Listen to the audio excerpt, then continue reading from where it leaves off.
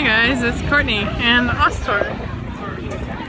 And we are at the Frankenmuth Dog Bowl waiting for the police canine show.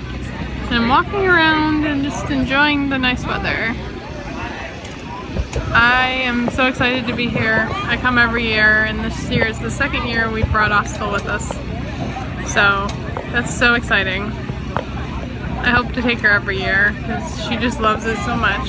Don't you? She's down here on the bleacher. I don't know if you can see her.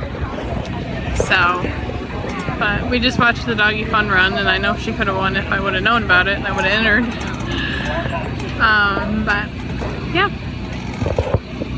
updates to come. And when he approaches that odor and smells it, we tell him to sit. And that starts the association between the odor and the response. So in one of these cans, we have we have some contraband. We'll leave it at that. We we have some contraband, and um, John and Mitch are going to find. And you'll notice, you'll see when he finds it. What is it?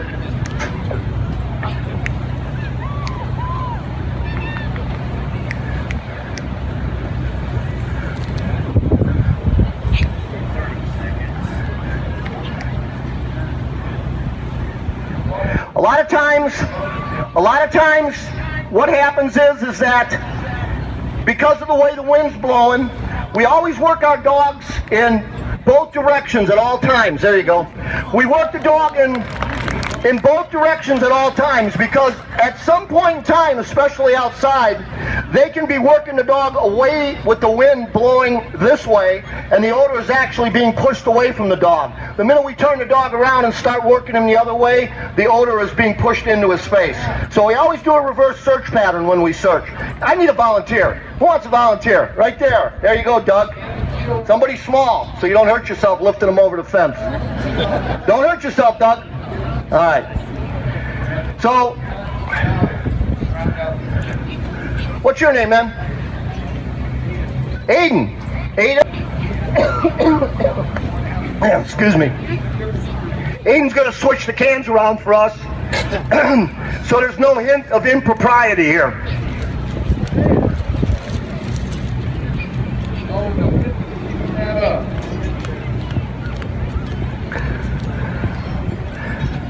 Pretty good. All right, come on, John. Nobody tell the dog. Nobody tell John either.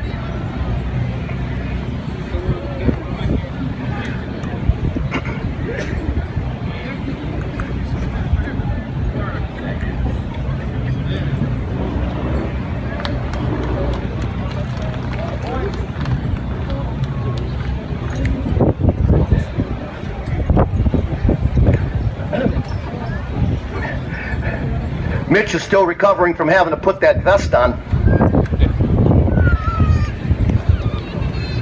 These are all young dogs, by the way. Both Mitch and Segan are less than two years old. so they should have a lot of service time. And here we go.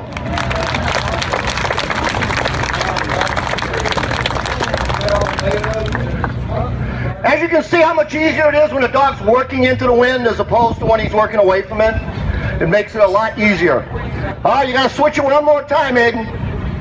What I tell people during the course of the routine investigation, the officer may suspect that there may be something not right going on uh, and decides to search the outside of the vehicle with his dog. Yes, the dog can smell the odor of the narcotics from outside even though it's inside. Their olfactory function is close to one million times better than a human being's if you can put a perception on that. See how the wind is sort of messing with him a little bit? He's got odor, everybody can see it. There it is.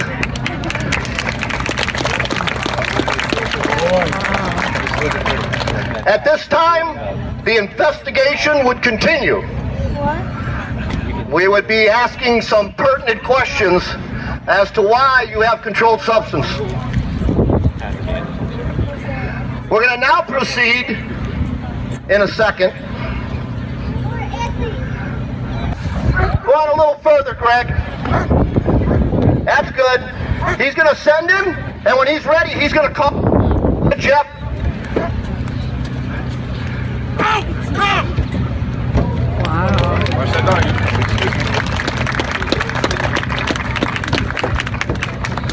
And now just to show you that he would have bit him, go ahead, Jeff.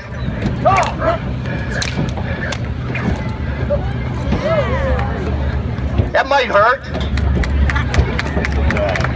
So,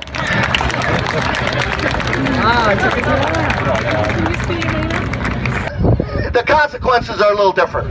And that's what we're going to show you. Go ahead, Jimmy. Up. Sit. They will try anything to get you to move. They'll try anything to get you to move. Out. Let's come down here. We'll shoot years in Detroit. Thank God that we prepared our dogs for for this. We prepare them for this with muzzle attack. We make the dog wear a muzzle because if he wasn't wearing one, you watch what he'd be doing to him. Watch him pound him with the end of that muzzle. If we took that muzzle off, guess what he would be doing? He would be biting him. So we're going to send him, we're going to send him on Greg. Greg's going to try to get away. He's going to fight the dog. He's going to try to get away from the dog, and you'll see what happens, okay? Go ahead, Jeff.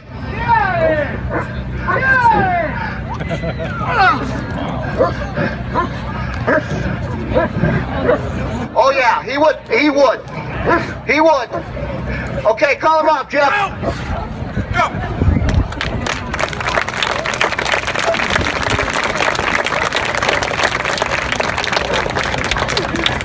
For me, for me, that's the best part of dog work.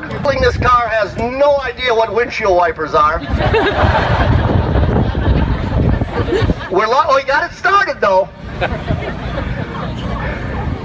Because of uh, because of new pursuit, pursuit laws initiated by most police agencies, this thing isn't going to go over like 20 miles an hour. In fact, in the real world, we'd probably be calling it off about right now. So they're going to roll up here. Then obviously the smart thing would be for, but he's not going to do that. For the sake of.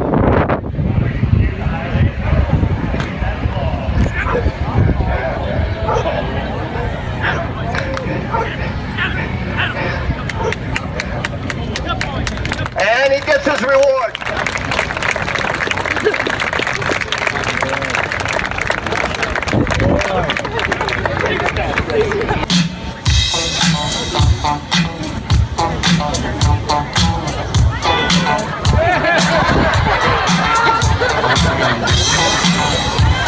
Michelle, did you distract me on purpose?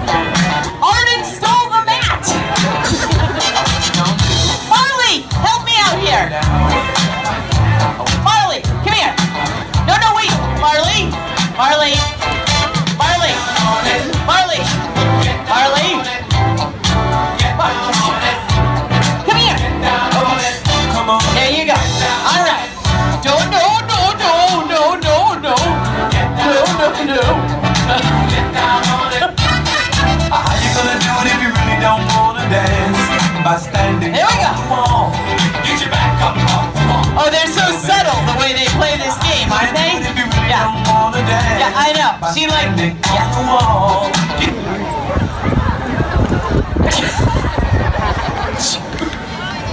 Oh my gosh, she was just so stinky happy. She was like, okay.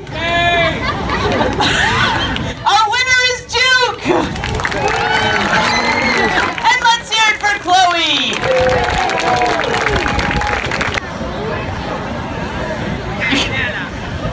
nope, there's still a pulse.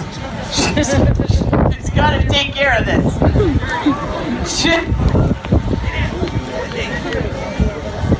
Yesterday she went underneath it and had it over her head and she just ran towards her dad. It was awesome. There she goes.